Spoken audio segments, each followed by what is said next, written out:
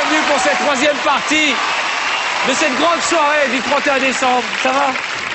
Je trouve que le maillot de bain euh, devrait être plus souvent euh, à la mode euh, pour les fêtes de fin d'année. Vous êtes sublimes. Ce sont les, les danseuses de Kamel Wally, mesdames et messieurs. Vous pouvez applaudir. Oh là là là là là là.